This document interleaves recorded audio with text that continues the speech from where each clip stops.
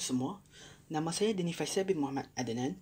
Matrix nombor 08 di IP 19F1004. Nama supervisor saya ialah Puan Nur Azlina binti Jaafar.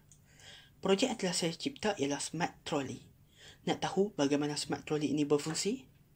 Ayuh, kita lihat.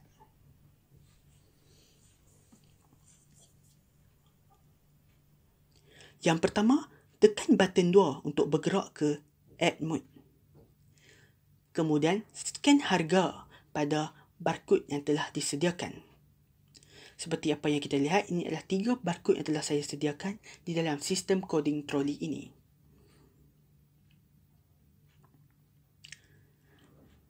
Apabila barcode telah di-scan, harga barangan akan dibaca dan dipaparkan di LCD screen.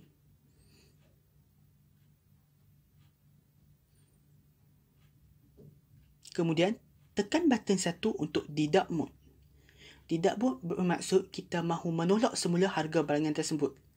Scan pada barcode semula untuk kita didakkan harga barangan tersebut.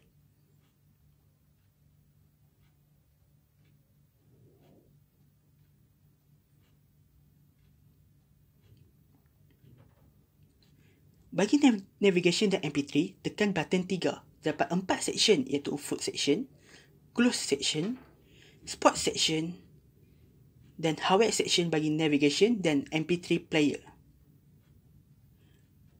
Untuk maklumat semua, kita perlu memakai earphone untuk mendengar suara di dalam sistem ini.